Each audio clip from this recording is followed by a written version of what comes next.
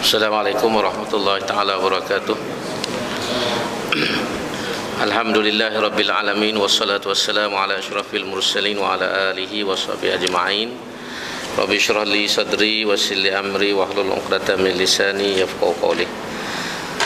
Alhamdulillah syukur pada Allah Subhanahu wa taala selepas kita cuti bawah ni seminggu uh, malam ni kita dapat sekali lagi uh, apa ni menyambung kuliah kita dalam tafsir pimpinan Ar-Rahman yang mana dalam kuliah lalu kita telah membincangkan beberapa perkara uh, iaitulah antaranya Allah Subhanahu Wa Taala uh, menceritakan kepada kita bagaimana orang-orang yang mati syahid pada jalan Allah Subhanahu Wa Taala ini mereka walaupun pada zahirnya terbunuh tetapi pada hakikatnya hidup eh, pada sisi Allah Subhanahu Wa Taala dan orang yang mati syahid ini uh, diberikan kenikmatan uh, rezeki yang melimpah ruah oleh Allah Subhanahu Wa Taala dan mereka berada dalam keadaan bergembira eh, dengan kurniaan Allah tersebut. Dalam satu hadis itu disebut bagaimana ruh orang-orang yang mati syahid ini dimasukkan ke dalam uh, perut uh, burung yang berwarna hijau dan mereka ni berterbangan eh, berterbangan uh, di dalam uh, syurga. Gimari dengan penuh sukaria kemudian Allah SWT menyebut bagaimana orang-orang yang menyahut seruai Rasulullah SAW selepas daripada berlakunya peristiwa perang Uhud iaitulah bila Nabi uh, panggil balik sahabat-sahabat untuk uh, berperang dengan golongan musyrikin ramah di kalangan sahabat ini walaupun ada yang luka yang cedera dalam peperangan Uhud tapi masih lagi uh, sanggup keluar bersama-sama dengan Nabi eh, untuk berperang. Dalam satu peristiwa itu uh, yang kata silap saya dipanggil perang Badar yang kedua. Tapi tak ada berlaku peperangan itu bila Nabi itu big uh, bila Abu Sofia mula-mula Abu Sofia ini merasa uh, semangat untuk menyerang orang Islam ini sebab dia benar di Uhud tetapi bila dia dengar sahabat-sahabat Nabi ni ramai yang sanggup keluar bersama Nabi timbul perasaan takut dalam hati Abu Sufyan ini. Kerana dia teringat apa yang berlaku dalam peribadah uh, yang sebelum daripada itu. Akhirnya uh, pasukan Abu Sufyan ini undur semula ke Mekah. Uh, orang Islam ini berjaya uh, di segi moralnya sudah berjaya kerana musuh sudah sudah lari. Jadi orang ni Allah SWT cerita dalam ayat yang kita baca ayat 172, 173 dan 174 bagaimana orang-orang yang uh, apa ni sanggup berperang pada jalan Allah dan menyerahkan urusan dia kepada Allah SWT dengan ucapannya yang masyhur hasbunallah wa ni'mal wakil hasbunallah wa ni'mal wakil ni uh, kalau kita baca dalam kitab disebut uh, kalimah hasbalah. Rekasai ulama ni sebut macam bismillahirrahmanirrahim ulama kata bismit basmalah. Jadi kalau kita jumpa dalam kitab perkataan basmalah maksudnya bismillahirrahmanirrahim. Kalau hamdalah tu alhamdulillah uh, hauqalah la haula wala quwata illa billahil aliyil azim. Uh, has, hasbunallah ni dia panggil hasbalah. Rekase uh, jadi kalau kita jumpa kata hasbalah maksudnya lah hasbunallah wa ni'mal wakil ataupun hasbiallah boleh berlaku dua-dua. Tapi dalam ayat ni oleh kerana cerita ni cerita tentang orang Islam maka Tuhan guna perkataan plural ataupun jamak jadi bila mereka ni berhadapan dengan musuh ucapan orang beriman ialah hasbunallah cukuplah bagi kami Allah Subhanahu wa taala wa ni'mal wakil dan Tuhan itulah sebaik-baik pengurus. Jadi kalimah ni diajar kepada kita untuk kita baca bila kita berhadapan dengan kekecewaan uh, kita berhadapan dengan ketakutan uh, kalau kita berada dalam suasana yang cemah memang diajar eh, kepada kita untuk baca uh, kalimah ini antara kalimah-kalimah yang boleh uh, mengeluarkan kita daripada uh, bencana ataupun kesepit kesepitan kesepitan hidup. Ada beberapa uh, hadis yang menceritakan kita antara uh, doa-doa dan bacaan-bacaan yang patut kita orang beriman ni uh, baca. Uh, dan Allah SWT sebut orang-orang ni mendapat uh, nikmat daripada Allah Subhanahu Wa Taala dan kurniaan uh, dan serta mendapat keredaan eh, daripada Allah Subhanahu Wa Taala. Allah SWT juga sebut dalam ayat yang kita baca dulu uh, uh, Allah SWT kalau kita kata nak kata kuan dia uh, bui nasihat lah. Seolah-olah kita kepada Nabi ni supaya jangan rasa bimbang dengan orang-orang yang kafir. Kerana Nabi ni bila diajak orang masuk Islam uh, bukan semua masuk Islam. Uh, ramai juga yang menetes Nabi. Yang bukan setakat menolak seruan Nabi tapi menetes secara uh, bersenjata. Jadi Tuhan kata mu tak usah bimbang lah eh, dengan orang-orang yang menetes Islam ni yang kafir ni kerana uh, mereka tidak dapat memberi mudarat kepada kamu. Maknanya jaminnya Tuhan kepada Rasulullah sallallahu alaihi wasallam dan orang Islam Allah SWT akan sentiasa membela mereka dalam perjuangan uh, menetai orang-orang yang yang kafir tersebut dan Allah SWT tidak akan membiarkan orang-orang beriman uh, duduk dalam keadaan yang sentiasa ditekan uh, yang sentiasa apa ni uh, diancam oleh oleh musuh. Itu uh, lebih kurang semua sekali ayat yang kita baca dulu sehingga ayat 179 jadi malam ini kita sambung sedikit lagi dari ayat 180 ni yang saya berhenti dulu kerana dia masuk tajuk lain. Walaupun masih lagi berkait dengan apa yang kita bincang. Iaitu ayat yang berbunyi auzubillahi minasyaitonirrajim ولا يحسبن الذين يبخلون بما آتاهم الله من فضله هو خيرا لهم بل هو شر لهم سيطوقون ما بخلوا به يوم القيامة ولله ميراث السماوات والأرض والله بما تعملون خبير dan jangan sekali-kali orang yang bakhil dengan harta benda yang telah dikurniakan Allah kepada mereka dari kemurahannya menyangka bahawa keadaan bakhilnya itu baik bagi mereka. Bahkan ia adalah buruk bagi mereka. Mereka akan dikalungkan diseksakan dengan apa yang mereka bakhilkan itu pada hari kiamat kelak. Dan bagi Allah jualah hak milik segala warisan isi langit dan bumi. Dan ingatlah Allah amat mengetahui dengan mendalam akan segala yang kamu kerjakan.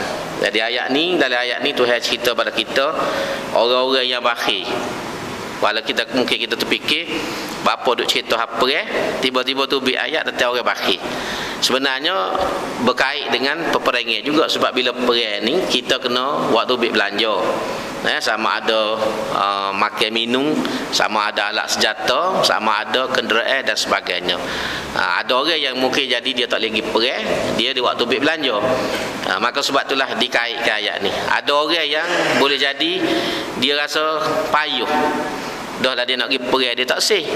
Nak bui sumengi ha, batuan kepada orang pergi perang pun boleh jadi susah bagi dia. Ha, jadi waktu boleh jadi marilah ayat ni. Jadi tu yang kata orang yang bakhir ni dalam hidup bakhir ni bahasa Arab. Eh, kita pun guna bahasa tu Haji Bakhir eh. cerita Haji Bakhir uh, apa? Uh, tiga ke apa eh? Oh, labu-labi tu. Haji Bakhir Sohu Bakhir ni maknanya kedekut Kalau Melayunya kedekut lah ha, kedekut tak si waktu bit pitih tak si waktu bit pitih walaupun benda tu perlu. Ha, maka Tuhan kata orang yang bakhir ni dengan apa yang Tuhan kurnia kepada dia terutamanya harta benda lah. Kalau sini ayat ni luah. Kalau Tuhan bui ni banyak kepada kita. Antaranya ring. Tuhan bui kepada kita ring. Tenaga kita ni. Ha, ring kita ni waktu Tuhan bui juga. Umur kita Tuhan bui kepada kita eh kesihatan. Hak Tuhan bui kepada kita. Harta benda tentu sekali hak Tuhan bui. Anak pinuk eh kedudukan ni hak Tuhan bui belaka jadi Tuhan kata orang yang bakhil yang tak si wak tak si belanja dengan apa hak Tuhan bui kepada dia. Jadi kalau kita tengok ni termasuk belaka lah. Bakhir dari segi bitimah Bakhir dari segi masa dia Bakhir dari segi ring Bakhir dari segi kedudukan dia. Gapa semua ni Tuhan kata mu jangan ingat Orang ni ni molek bagi dia. Eh, molek. Kalau dia duduk kedekut dia serah tak si belanja pitih tu dia serah ke dia tak habis pitih. Ha, tak habis pitih. Dia tak pergi tak wiring tu dia tidak tidak benar lah tapi sebenarnya di segi pandangan agama Tuhan kata hak ni buruk ha, dia rasa benda tu khairul lahum. Baik baginya bal huwa syarrul lahum. Sebaliknya Tuhan kata buruk bagi dia. Orang mari di rumah bagi contohnya orang susah. Betul-betul susah bukan kata bahasa jenis oh, temberam ke apa semua ni. Hak jenis betul-betul susah perlu ke batu-batu eh. Dan dia boleh tolong orang tu. Dengan pitih dia. Kalau dia wi pitih kat orang tu pun tak jadi sesok dia. Tak bui juga. Ha, tu antara contoh jadi kalau benar lagu ni dia rasa oh, aku tak habis pitih tidak kalau wi ke dia habis 10 riyal dia serotung dah dia. Tapi tak pada pandangan agama perbuatan tu buruk. Bagi kita kita suruh molek lah kita tak habis pitih. Tapi bagi agama perbuatan itu perbuatan buruk nombor satu sekali sebab orang susah kita tak tolong. Ha, dalam Islam ni kita kena tolong orang. Antara tanggungjawab apa ni? Tanggungjawab kita sama-sama Islam ni antara hadis Nabi sebut dalam hadis itu ialah bila orang mari minta dengan kita kita kena bui. Setakat kita boleh bui. Nabi sendiri tidak pernah menghampakan permintaan orang. Marilah jumpa dia dan dalam beberapa hadis Nabi sendiri siapa pun nak buta nak tolong orang. Dia buta dah orang ni mari orang susah. Minta nak nak tolong. Ya Rasulullah tolong. Hamba ni susah Akhir Nabi sendiri tak ada kau satu. Dia tanya siapa dia ada piti. Boleh kat aku. Boleh kat aku. Sahabat beri piti. Nabi ambil piti tu beri kat orang ni. Dia berutai piti dengan orang nak tolong orang. Dan kalau kita baca dalam hadis tak pernah Nabi ni menolak permintaan orang ni ah, selagi dia boleh beri siapa perekat dia butai ha, jadi kalau kita sebagai orang berimeh eh, orang mari minta tolong dan dia betul-betul susah dan kita ada kemampuan untuk tolong dia tiba-tiba kita tak beri kerana bakhir kita. Dan kita rasa bagus dah perbuatan kita ni kerana piti tak habis. Tapi pada pandangan Quran pandangan Tuhan khairul lahum. Benda tu buruk. Apa ha, dia jawab ni Tuhan royak ni. Apa Tuhan kata bal huwa syarul lahum. Pasal apa? Dalam ayat seterusnya Tuhan kata sayutawakuna sebab apa? Sebab benda kok dia kedekut atas dunia ni harta mah kau gapo sesok Tuhan gantung tekuk dia Ah, tu lagi gantung tekuk dia menjadi beban kepada dia. Sayutawwaku nama bakhilu bihi yaumal qiyamah. Mereka akan dikalungkan, diseksa dengan apa yang mereka bakhilkan itu pada hari kiamat kelak. Kita rasa sedak dah piti mah ni kita sipeh. Tiba-tiba seksa piti mah kok kita duk kedekuk selama kening ni, Tuhan tukar. Ada satu riwayat disebut tukar tukar jadi besi besi yang panah dan tu buat macam loket ambil lah dia kata mu saya sangat pakat tekuk. Ha bayar lah ha, dengan besi yang panah tu bakat tekuk kita. Ni hok muduk kedekut atas dunia ni. Aku beri rezeki ni bukan nak semua sore ya, makan rezeki ni biar sapa kepada orang-orang yang memerlukan. Ha, sebab tu ni cara dia atur hidup ni macam-macam. Kita piti banyak pakai kereta besar dah. Tapi time rusak kita tak pakai diri nak pergi. Jadi Tuhan ambil pitih kita tu melalui kita tak sedar. Pomeh boleh pitih. Ha. Pomeh boleh pitih. Jadi dengan kerana kita ada pitih, kita pakai kereta besar, pomeh boleh pitih, orang jual sepepak boleh. Boleh pitih belakang, mari daripada kita. Tuhan ambil dengan cara, kita tak sedar. Agak nak minta dengan biasa, mungkin kita tak boleh, dia buat punuh kereta. Sekali punuh 8 ribu. Sekali punuh 5 ribu. Selok situ. Ha, dia kedekut sangat. Orang yang minta sedekah di rumah tak sibui, orang minta tolong tak sibui anak yatim, susah tak sibui tolong, orang nak masuk universiti kita tak bui batu eh. Ha, tu eh. Buat ke mana? Sibui rusuk kereta. Kat kereta kita muka kereta ke maha. Sekali rusuk gak selok lah. Ha. Ber 5000 lah. Jadi boleh pitih kau orang orang beki. Orang beki pula bukan dia seorang. Boleh kau orang jual part ni pula. Jadi bagi tu cara tu saya tarik. Ha, kadang-kadang tu saya tarik kau sakit, mari sakit pergi jumpa doktor bayar. Tak doktor kena hok pakar kat sekali masuk 50 riyal. Masuk itu tu 50 riyal tu. ha, kadang-kadang 100, pergi jumpa saja tu 100 riyal tu. Tak boleh obat lagi, tak royak lagi kalau boleh obat. Hok sakit kau seluk. Atau contoh nak royak. Jadi, tu atas dunia baik. Tuhan kata esok ni bal huwa syarul lahum sifat kedekut bakhir kita ni buruk apa sebab sayutawakuna eh ma bakhilu bihi yaumal qiyamah. Sesok tu saya kata tekuk. Tu saya kata tekuk sesok akan menjadi beban ni kepada kita. Orang tengok belakang duk gato tekuk oh ni orang dekuk mulanya orang kata oh ni orang bahasa payah bahasa je Ha, jadi hak tu hak kita ingat. Jadi sebab itulah kalau kita kait ayat ni dengan sedekah, sedekah ni penting. Eh? Sebab sedekah ni ialah pertama membersihkan harta kita. Kita tak tahu harta kita banyak-banyak mari ni boleh jadi ada tak cuci dalam harta tu. Pitih hak kita terima. Boleh jadi pitih tu pitih tidak cuci. Kita guna cara betul dah. Tapi pucuk mari tu. Cari tak betul ha, ilmu kita ke apa jadi bila kita bersedekah kita membersihkan harta yang ada pada kita. Sebab tu zakat tu penting. Kalau kita cukup syarat keluar zakat. Sebab zakat ni salah satu kaedah membersihkan harta. Membersihkan harta kita. Di tanah Arab eh, menjadi ke kepercayaan orang Arab kalau rumah terbakar gudai terbakar dia kata cek tu eh tak payah zakat. Dia jadi tanda lagu tu. Kalau terbakar rumah terbakar kedai tu tu tak bayar zakat Tuhan ambil dengan cara bakar. Dengan cara kebakaran nak cuci. Harta benda ada. Jadi kita jangan jadi siapa lagu tu lah. Ahli kita ni. Jadi sebab tu sedekah ni membersihkan dan boleh memadamkan api neraka. Ada oh, Amos sebut dulu dari hadis Nabi kata sedekah-sedekah ni boleh memadamkan api neraka. Maknanya kalau kita kemungkinan nak masuk neraka ni Tapi bila kita banyak bersedekah Tuhan sekat Tuhan tolong kita ni tidak masuk dalam neraka. Sedekah ni dia macam air sejuk Yang kita jiru boleh memadaikan api Api neraka. Maka sebab itulah Kena ajar Ambo sendiri tu tu ada apa-apa Kita latih diri kita ni bersedekah. Biar sikit pun Asal kita beri Hak tu lebih baik Daripada kita buat payah pasok Baik Balik pada sini Bila Tuhan kata seksok di akhirat Orang ni akan dikalungkan dengan apa Yang mereka bakhilkan itu pada hari kiamah. Dan yang kedua Tuhan nak ayat Walillahi mirathus samawati walad bagi Allah jualah hak langit dan bumi. Maknanya kita belanja ni kita tak jadi sesok. Sebab kekayaan segala harta benda dunia hak tu yang berlaku. Hak kita boleh sikit sebanyak tu yang beri kita. Jadi kalau kita belanja duit tu pada jalan hak Tuhan nak jalan Tuhan reda tak okey Tuhan nak elok saja kita susah Tentulah Tuhan akan tolong kita. Sebab dia akui duit kau kawan ni. Kawan ni belanja dengan molek. Keluar zakat, wis dekah tolong orang sakit Orang miskin, anak yatim. Tuhan kata orang ni patut kalau aku beri lebih lagi pun. Jadi Tuhan akan ganda lagi kepada kita Ha. Dan kita tak perlu bimbing Sebab apa? Sebab benda ni mari daripada Tuhan. Bukan kerana usaha kita. Kita setengah orang tak faham Dia kata aku buat kerja semalam Betul. Zahirnya lagu tu lah Tapi hakikatnya hak Tuhan. Sebab tu hak gratis TSC Lebih letih, lebih letih pada orang duduk atas. Dalam jabat. Orang dalam jabat Kita tak perlu. Bukan ekor. Naik kereta ekor. Masuk jabat ekor. Rumah ekor lagi. Ngebanding hak gratis TSC tu. Perlu pelapah kau Punggung orang kata. Tapi banyak mana pitih dia boleh dengan orang duduk cokoh dalam jabat banyak orang dalam jabat lagi. Banding dengan dia. Nak oyak pasal hak ni hak tu he bukan kerana geng kita. Kalau atas geng kita sepatut ganti taksi tu kaya je. Pasal dia perlu habis marketing tak kita perlu pun tak ada. Perlu pun tak ada. Tapi nak oyak ni lah.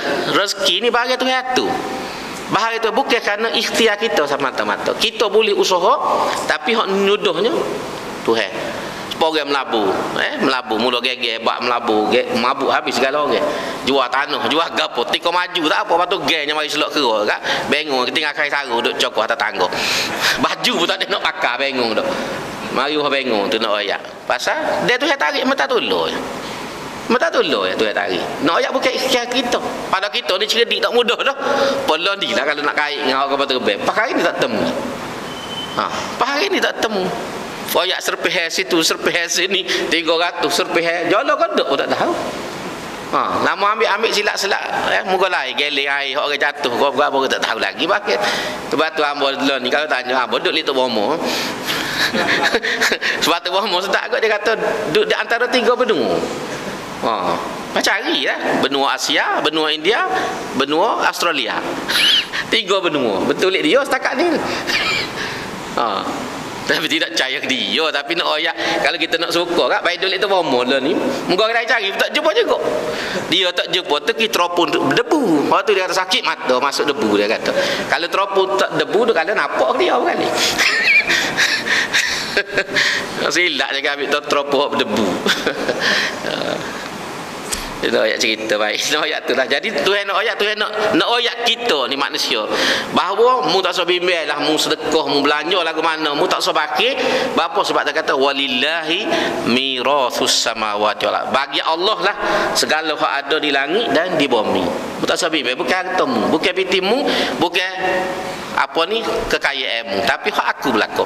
Dan Tuhan kata wallahu bima ta'maluna khabir. Dan ingatlah Allah Maha mengetahui dengan mendalam akan segala yang kamu kerjakan. Khabir ni dia ada beza dengan alim. Eh, kadang-kadang orang tanya apa sini guna khabir? Kita hak guna alim. Alim tu kata ulama tahu. Tahu secara umum. Khabirun ni mendalam. Tahu secara halus. Ha, secara halus secara terperinci itu beza antara dua makna. Sama-sama tahu tapi ada tahu orang kalau kita pakai guna bahasa putih on the surface ataupun superficial. Eh, superficial kita tahu gitu ya. Nak ayat tak boleh nak hurah tak reti tahu. Tapi nak cerita sosok tak boleh. Khabirun ni dia boleh ayat sosok dia boleh terai sosok ha, tu dikatakan khabir beza antara alimun dengan dengan khabir. Baik. Seterusnya ayat seterusnya ayat 101 Tuhan kata laqad sami Allahu qaulal ladzina qalu inna Allaha faqirun wa nahnu aghniya. Sanaktubu ma qalu wa qatlahumul anbiya bi ghairi haqq wa naqulu dzuqu azabal hariq. Sesungguhnya Allah telah mendengar perkataan orang-orang Yahudi yang mengatakan bahawasanya Allah miskin dan kami ialah orang-orang kaya. Kami Allah akan menuliskan perkataan mereka itu dan perbuatan mereka membunuh nabi-nabi dengan tidak ada alasan yang membenarkannya. Dan kami akan kenakan katakan kepada mereka rasakanlah azab seksa yang sentiasa membakar jadi orang Yahudi ini dia memang tu hebui ini yang mula sampai hari ini pun menguasai ekonomi Lo ni ni kapitalis-kapitalis dunia majoritinya bangsa Yahudi. Soros kok perang ada Dr. Mahathir mula tu. Eh bak pitih tu dia ni keturunan Yahudi. Eh apa ni Ford. Ford ni antara orang kaya dalam dunia. Memiliki harta yang banyak. John Paul Getty tu antara orang kaya dalam dunia. Lo ni ni lo ni. Oh, lo ni tu Microsoft apa? Bill Gates. Ni kalau kita baca belakang ni orang ni, bakal asalnya Yahudi eh bakasa Yahudi yang memiliki apa ni apa ni uh, Rakaya TV dunia ni apa nama ah uh, tu semua Yahudi juga. Kalau kita baca-baca sejarah ni kebanyakan majoriti kapitalis-kapitalis dunia syarikat-syarikat besar dalam dunia ni syarikat milik Yahudi. Hebat orang Yahudi ni Tuhan bagi di segi ke kebolehan dalam bidang ekonomi. Yang mula lagi. Dan dia lah menguasai bank-bank di Eropah pada abad pertengahan dulu pada pertengahan zaman Islam naik ni pun orang Yahudi. Masa Nabi pergi ke Madinah eh, Yahudi menguasai pasar Madinah. Tak ada seorang pun orang Arab jual di pasar Madinah. Waktu Nabi sapa. Semuanya daripada benda kecil sampai benda besar di Madinah orang Yahudi belaka kontrol. Abraham bin Auf lah orang Islam mula-mula pergi nego. Orang Arab dan orang Islam mula-mula buka kedai di pasar Madinah. Sehingga akhirnya orang Yahudi ni lari. Tak tahan. Dia tak, tak boleh berlawan buat Islam ni dia kata pergi buka kedai lain pasar lain tak boleh nego sekali dengan orang Islam. Ni tu hebui nak ayat kelebihan jadi orang ni dia rasa dia dia dia dia piti banyak Yahudi. Muka harta ni dia kata Tuhan ni miskin Tuhan Muhammad ni miskin. Sebab tu orang Islam sesok ha tu. Nabi Muhammad pun bukan kaya. Nabi ni eh kalau nak banding dengan kita di segi harta kaya kita. Nabi ni tak ada gapo dengan dia. Tak ada gapo-gapo dengan dia. Baju pun selah dua lai ada makan lebih kurang Nabi. Aisyah sendiri pun pernah sebut. Dia kata rumah aku ni kadang-kadang ada makan ni kadang-kadang tak ada. Bila Nabi balik Nabi tanya Aisyah ada gapo rumah? Kalau ada makan gapo ada. Kadang-kadang Aisyah kata aku jawab tak ada gapo satu ya Rasulullah. Masa kata apalah kita puasa hari ni. Puasa. Lagu tu Nabi tu ayat.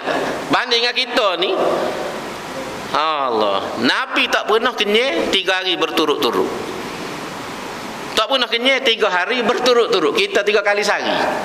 Kenyek pagi kenyek balik selok rumah. Pergi mana-mana. Tengah hari kenyek juga. Malam kenyek tiga kali sehari kenyek Nabi tak pernah dalam hadis tak pernah kenyek tiga hari berturut-turut. Ha, pernah satu kali ni cerita lah Hamba dah cerita dah mula mula balik pasal lama. Nabi pernah semaya. Eh bila tengah semaya sudah semaya tu Nabi tanya Abu Bakar. Dia kata hai Bakar gapo dia bunyi?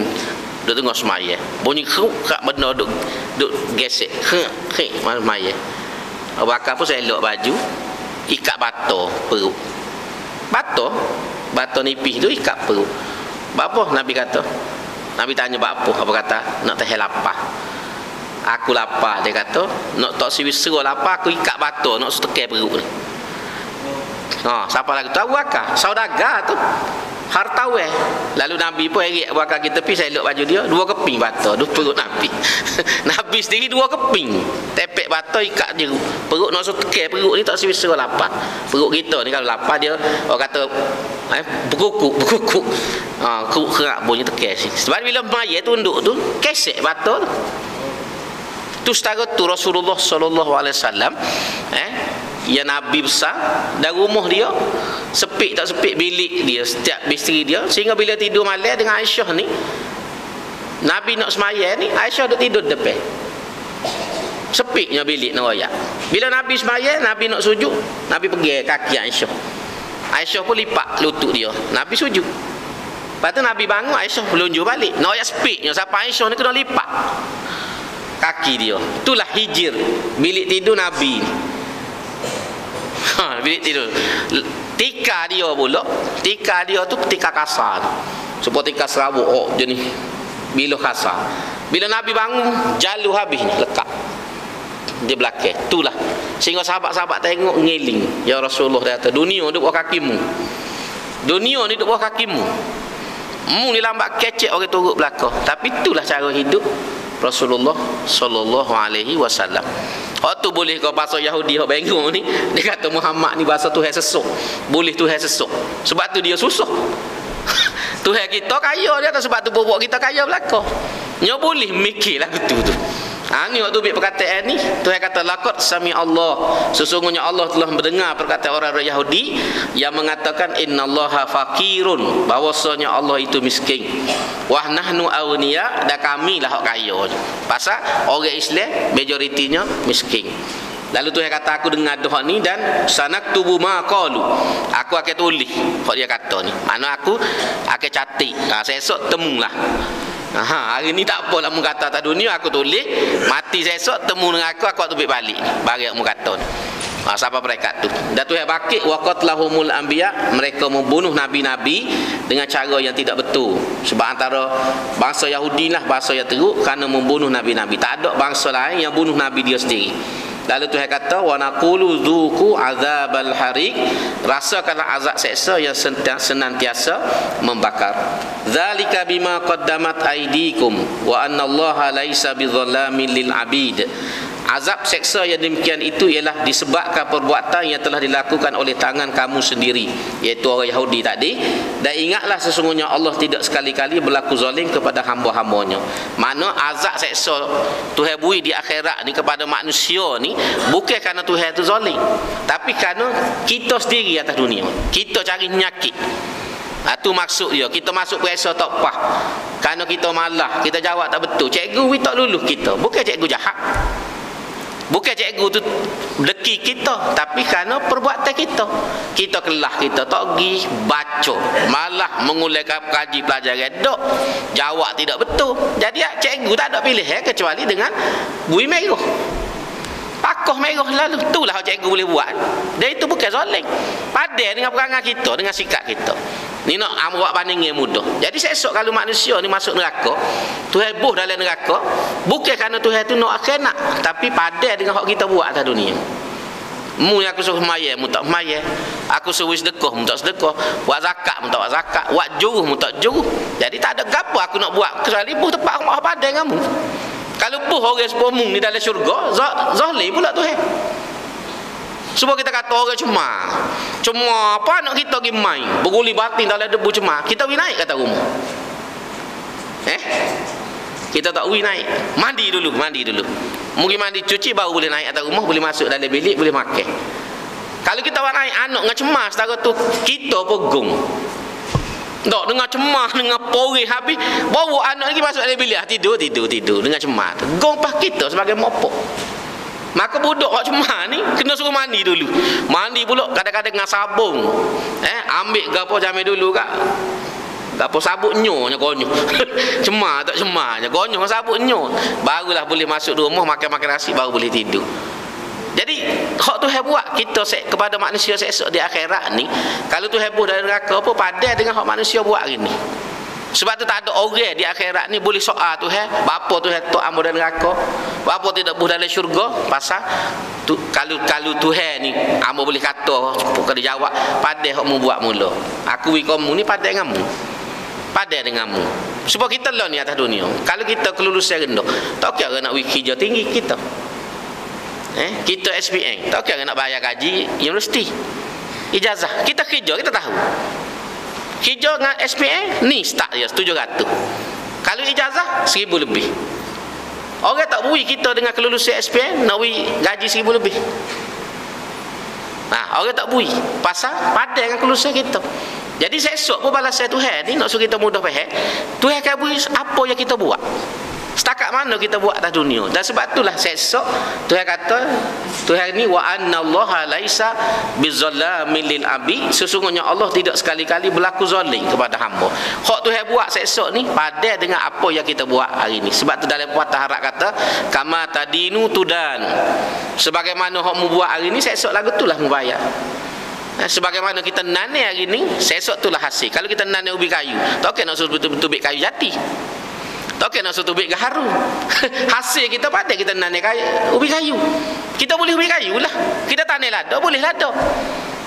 Kena tanai buah motel nak satu bit dia. Padu katok pokok pasal menatai pokok tak reti ni aku nak buah dia dia tubik motel. Dah kita tak mau motel. Benih tu benih motel.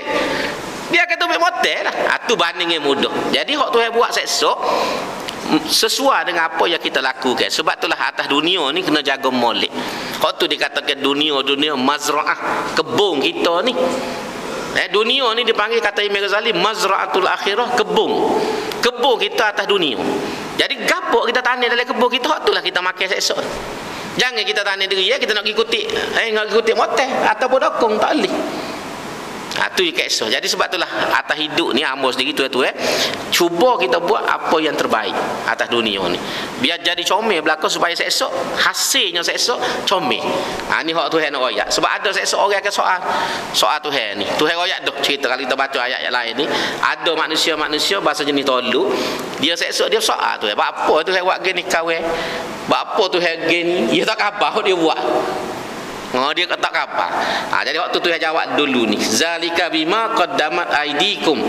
Azab seksa demikian itu ialah disebabkan perbuatan yang dilakukan oleh tangan kamu sendiri.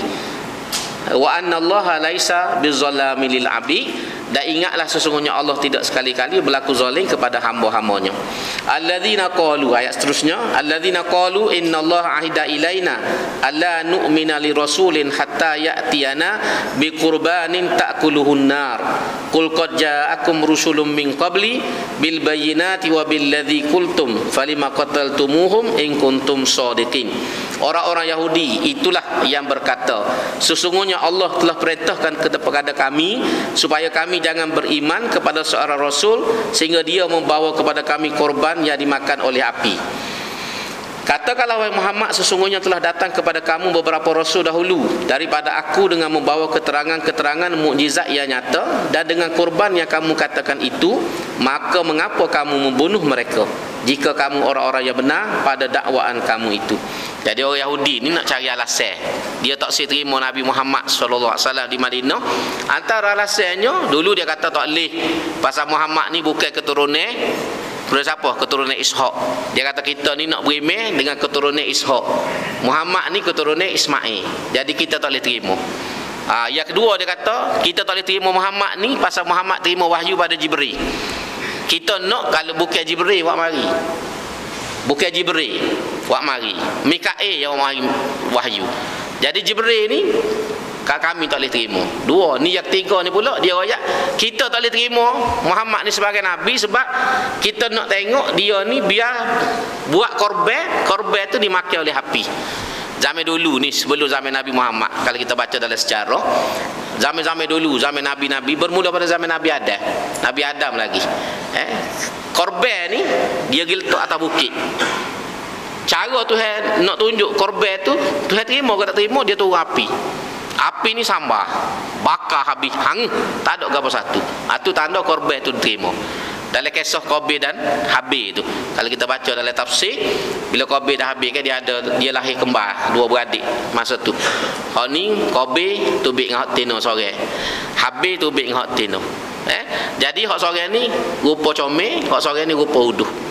Jadi bila nak nikah hak uduh ni nak wika hak abeh hak comel ni bukan adik.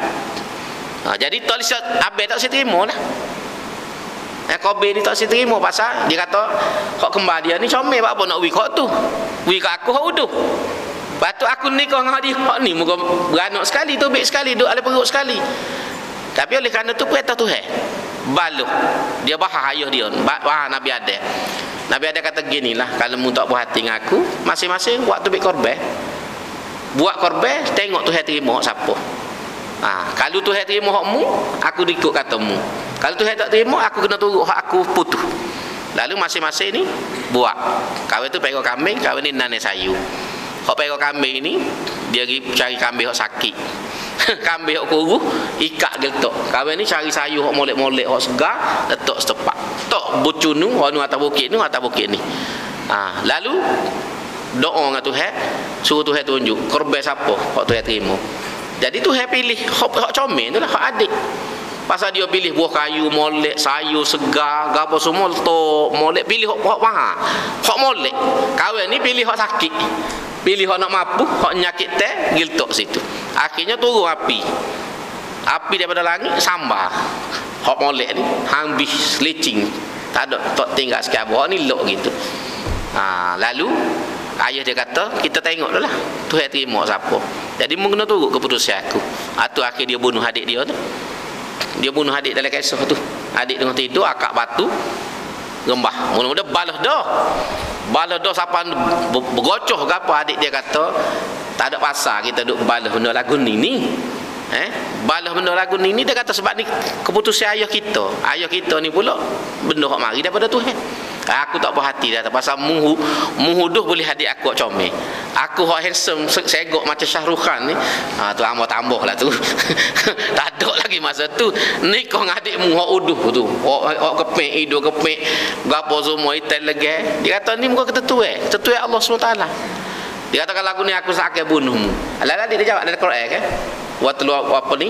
Um, watlu alaihim naba abnai adam bil haq iz qarraba qurbanan fatuqbila min ahadihima wa lam yutaqabbal min al akhar. Ha tu disebut dalam cerita tu. Saya bacalah kisah dua anak adam ini. Bagaimana dia kedua-dua ni mengeluarkan korban fatuqbila min ahadihima lalu Tuhan terima so ya. Kok sore lagi Tuhan terima eh? Lalu abang ni kata qala ini la aku akan bunuhmu Ha, lalu adik ni hok juru dia kata, eh, lain basatta lain basatta yadaka alayya litaqtulani ma ana bi basita yadi ilai. Kalau mu akak tangan mu nak bunuh aku pun aku tak akan lawe. Adik dia kata. Aku tak lawe pasal bunuh ni dosa besar. Akhir akhirnya dia gerai doa nak bunuh depan ni tak tergamuk. Eh, nak belawe pun adik pun gaguh. adik gaguh. Akhirnya dia tunggu masa adik dia tidur. Masa tidur dia ambil batu remah atas kepala mati adik dia. Bila mati tu tak tahu nak ke mana. Masa tu tak erti lagi. Nak nak tani lagu mana. Orang gali kubur pun tak ada lagi masa tu. tak ada. Jadi tak tahu nak ke mana. Nak eh nak susuk mayat adik ni. Takut dia ayah jumpa. Akhir dia pikir adik dia ni pergi mari, pergi mari. Pikir mayat dia. Gimana naik bukit, turun bukit. Tak tahu nak ke mana. Lalu tu hantar burung gagok dua ekor mari burung gagok baluk bergomo depan dia belawel antara dua ekor burung gagok ni mu patu aku patu mu patu aku matu akhir mampu sekor bila mampu sekor hok hidup ni gali lubang. Perih-perih dengan dengan dengan paruh dengan kaki dia. Koreh koreh koreh. Jadi lubang dalam dia gerik. Hok mampu tu buh. Dan lubang tu kamu balik dengan, dengan, dengan kaki dia. Dia duduk tengok daripada awal sampai oh lagu ni rupanya cara. Lah lagu ni rupanya cara nak susu. Dia pun start kali lubeh ha, bermula pada situ lah. Kalau kita ni jenazah ni kena kena sipir kena sipir gali sipir dalam dan dalam bumi bermula pada situ. Pembunuhan yang pertama dalam dunia.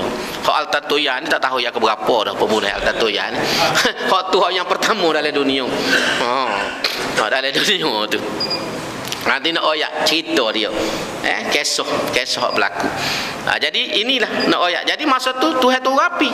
Jadi dalam kes ni ni, orang Yahudi ni dia kata aku tak akan berimik dengan Nabi ni kecuali Nabi ni boleh buat mai korban tak turun api mak sambah. Lalu Tuhan jawab dalam ayat ni. Eh, kul kata kalau Muhammad kepada orang-orang Yahudi ni qad ja'akum rusulun min qabli sebelum pada aku ni mari ramai dah nabi Aku ni akhir sekali dah Muhammad. Nabi Muhammad ni Nabi akhir tu. Kau mari sebelum pada aku ni 1200 apa ni? Berapa 124 ribu dah Nabi. Mari dengan mukjizat, dengan bukti. Patu tunjuk dah supaya munuk tu. Kau api turun makan ke apa tu. Ada berlaku-berlaku dah jamai Bani Israel. Jadi tak ada pasal mu ni nak buat alasan dengan aku ni nak tengok lagu tu. Hak dulu pada aku ni mu bunuh. Jelas ada demo ni bawa mukjizat, jelas ada demo ni korban dia dipakai oleh api, tapi mu ni lah bangsa Yahudi ni lah yang membunuh nabi-nabi tersebut. Tiba-tiba hari ni buat dalih, buat alasan tak beriman dengan Muhammad kerana tak tengok lagi api hak makan korban. Ha, tu nak ayat cerita ni dialog perdebatan yang berlaku antara Rasulullah SAW dengan bangka bahasa bahasa Yahudi. Nak ayat tolunya orang Yahudi ni yang mula siapa? Siapa hari ni? Dan ujian besar pada kita orang beriman ni Yahudi ni lah. Eh, yang menguasai dunia eh, pada hari ini. Jadi sebab tu Tuhan kata, mu aku mak mari dah dan kamu bunuh. Kultum falima qataltumuhum bapa mengapa kamu membunuh mereka? In kuntum sadiqin jika kamu orang-orang yang benar pada dakwaan kamu itu Ha, ni bawah ni kalau kita tengok Hurayyah Ibnu Abbas. Dia kata beberapa orang ketua kaum Yahudi di Madinah datang mengadap Rasulullah sallallahu alaihi wasallam lalu berkata wahai Muhammad tuan mendakwa bahawa tuan ialah Rasulullah dan bahawa Allah telah wahykan kepada tuan sebuah kitab Al-Quran. Padahal Allah telah memerintahkan di dalam kitab Taurat supaya jangan kami beriman kepada seseorang rasul sehingga dia membawa korban yang dimakan api tetapi apa yang mereka katakan itu adalah dusta kerana itulah turunnya ayat suci yang mendedahkan dusta kaum Yahudi itu iaitu turun ayat yang kita baca saat ini itu. Ha, jadi Tuhan nak jawab balik kenyataan orang Yahudi pergi jumpa Nabi itu. Jadi tu yang jawab dengan ayat 100 183. Ni boleh tengok dalam tafsir Al-Marari. Baik, ayat seterusnya fa in kazzabuka faqad kudziba rusulun min qablika ja'u bil bayyinat waz zuburi wal kitabil munir. Oleh itu jangan mereka mendustakan kamu wahai Muhammad. Maka janganlah engkau berduka cita. Kerana sesungguhnya rasul-rasul yang terdahulu daripadamu telah didustakan juga. Mereka telah membawa keterangan-keterangan mukjizat yang nyata dan kitab-kitab nasihat pengajaran serta kitab syariat yang terang dan jelas ha, jadi tu nak sejuk hati Nabi. Dalam bahasa Arab dia panggil tasliyah. Tasliyah ni kalau kita gaya pujuk hati ni tu saya kata kalau demo ni tak seterima mu Muhammad. Dia kata mu ni pelawak. Kamu bawa ni tak betul mu tak rasa tu kecita lah. Sebab Nabi-Nabi hok dulu pada mu pun lagu tu juga. Berdepan dengan kaum dia pun mereka mendustakan Nabi-Nabi. Perangai ni yang mula lagi ada. Orang yang tak terima kebenaran orang tak percaya ke Quran dengan hadis yang mula lagi dah tak habis. Perangai ni sampai hari kiamat. Ha, zaman ni tubik dalam bentuk kasih amat Eh, lepas ni tak tahu pula siapa dia pula. 20 tahun lagi, tubik pula. Perangai ni memang zaman Rasulullah pun ada. Kalau kita baca dalam dalam dalam, dalam sirah sebelum Nabi pun ada perangai hak tolak kebenaran agama. Jadi Tuhan kata kalau Muhammad tak usah bimbang lah. Tak usah rasa tu cerita sebab ini adalah orang kata fenomena biasa dalam kita berjalan nak sapa dengan Tuhan ni bawa agama kita ketemu lah dengan benda-benda lagu ti dan kita hari ni pun kalau kita orang Islam ni kita ke depan orang yang mempertikaikan agama kita.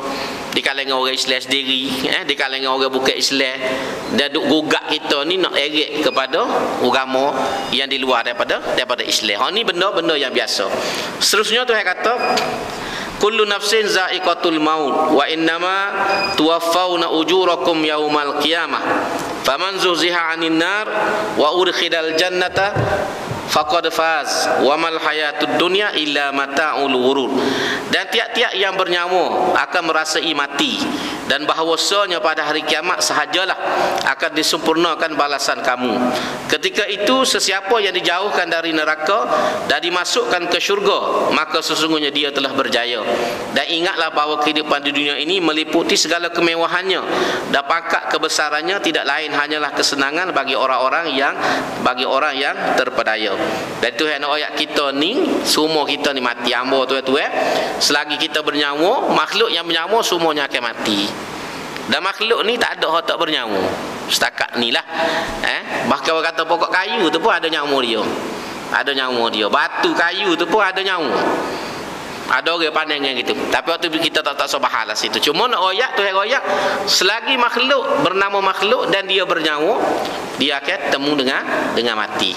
Orang kafir mati orang beriman mati orang menetek Islam mati orang yang menolak agama pun akan siapa? Masa nanti. Dan esok semua ni akan di disempurnakan balasan dia orang kafir Tuhan akan azab dia orang beriman tu akan masuk dalam dalam syurga hak penting kepada kita pastikan kita ni supaya duduk atas iman Ah, tu penting. Ambo tu tu semua kita kena pastikan hidup kita ni atas agama, atas iman. Insya-Allah kita selamat dunia, selamat akhirat. Ah tu yang nak royaknya. Ha, tak mati ni saya esok bila di akhirat. Tuhan kata lepas kiamat bila semua manusia dibangkitkan pada waktu itu Tuhan ambil mati.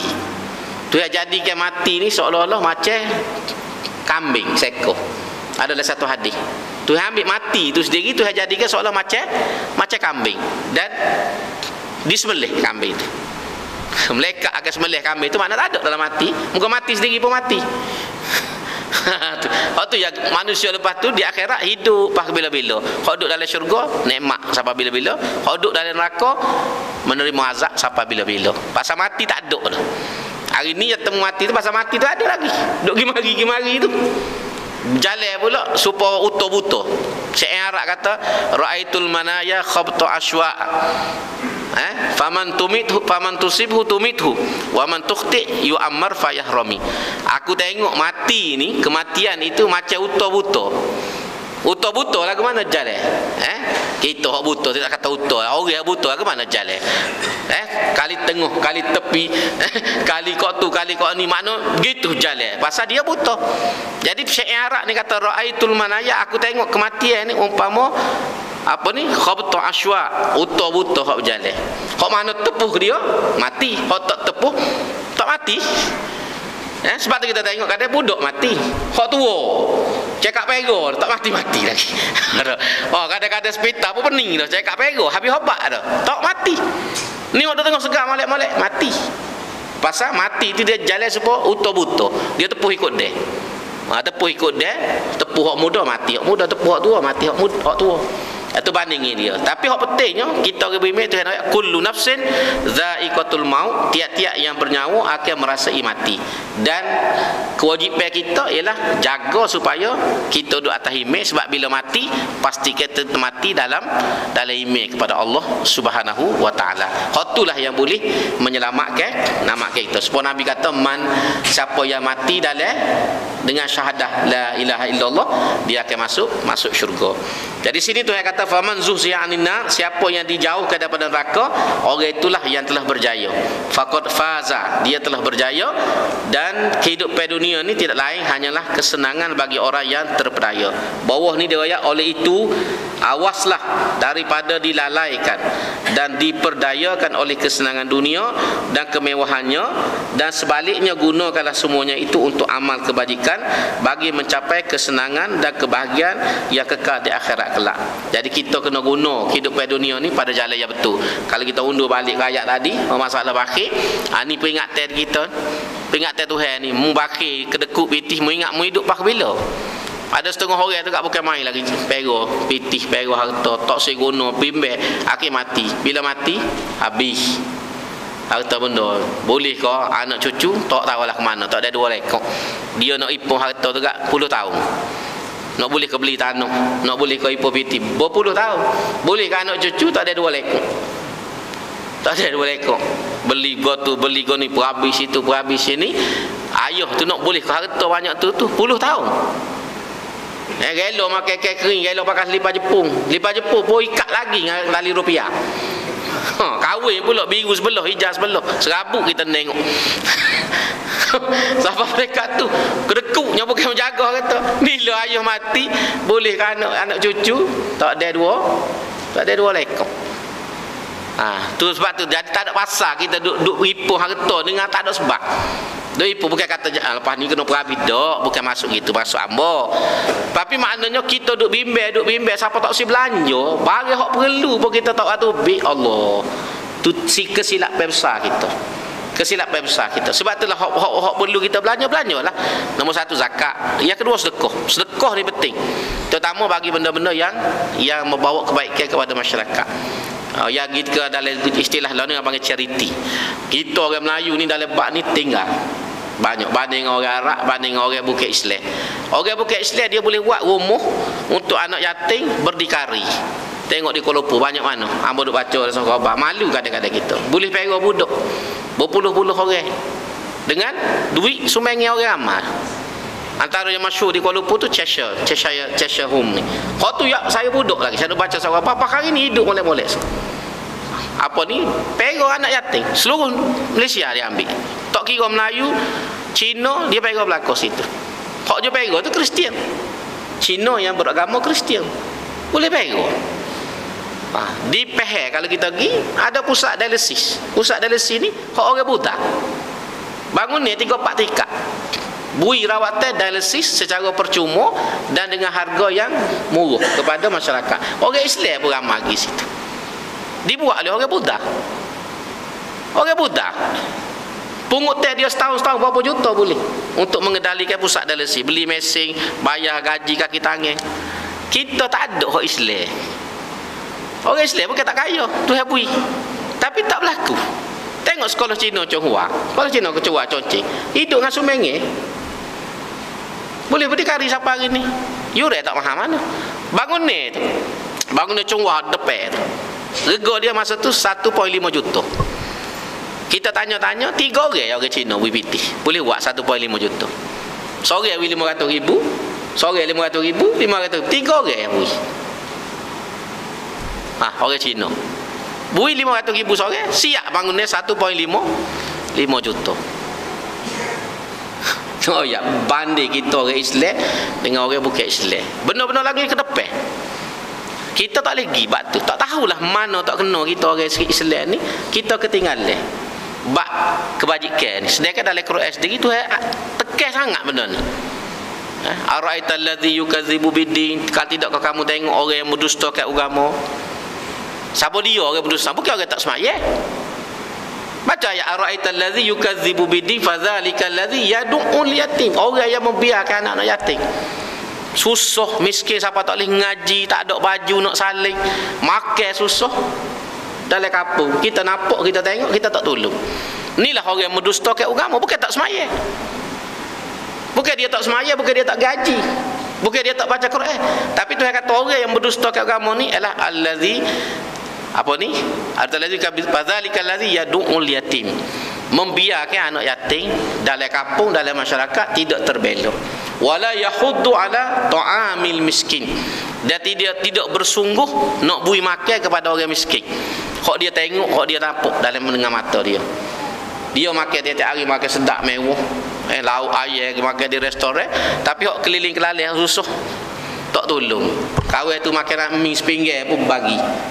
Eh, nasi sepinggir dua tiga beranak makan lah ni lah berlaku dalam masyarakat kita.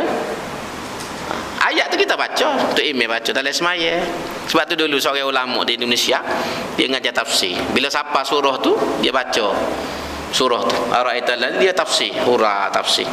Mari minggu depan baca pula. Baca surah yang sama. Mari minggu yang ketiga baca pula. Jadi anak murid dia heran gua anak tu tak beralih-alih dia main baca surah dulu. Tak puas kau. Dia kata aku lihat sampai tiga minggu. Pasal mu tak reti. aku baca habis teh dah royak gini. Semua dulu ya. Oh. Hurra tu ke ayat tu. Ara'aita allazi tidakkah kamu lihat? Wahai Muhammad. Allazi orang yang yukadzibu bidi mendustakan agama.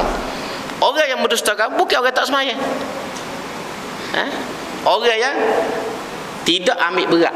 Kepada anak yatim di sekitar dia. Tengok anak yatim tak boleh nak ngaji tak ada piti. Tak ada orang nak pergi tolong. Bui supaya boleh bayar yuran ko supaya dia boleh ambil bekso ko tengok pakai baju tegak baju tu ya gaya mula pun baju tu gaya ni pun baju ni juga. Bertapu situ bertapu sini. Macam-macam warna.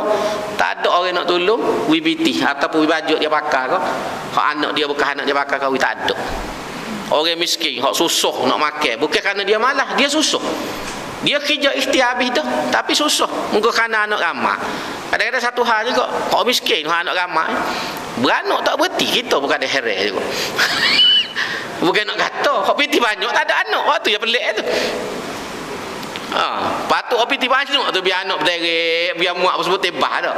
Ni hak susah tu lah anak. Dua belah. Oh terkejut kita dengar.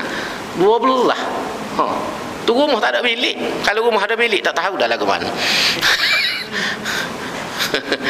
tu boleh-boleh suka lah.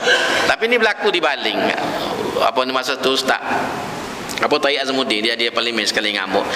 Dia tunjuk gambar-gambar orang miskin di baling. Satu rumah tu bilik tak ada. Rumah sebutir, dinding pun tak cukup, pak bucu. Bilik tak ada anak lapar amun neng ish ish beli-beli tak ada bilik tak ada dinding boleh lapar anak lagu mana kalau ada dinding ada bilik Ha, nak oyak. Oh tu boleh-boleh suka ya lah nak oyaknya. Tapi ni, ni masalah kita lah, masalah masyarakat Melayu Islam kita ni tak tahu di mana tak kena di mana tak kenanya kita sehingga tak boleh nak selesai. Sedangkan anak yatim orang miskin kalau kita guna betul-betul kaedah agama dengan zakat dengan apa boleh selesai. Dengan kita dalam kampung sendiri tolong tapi tak boleh selesai. Siapa hari ni semua nak nanti kaji air berlaku.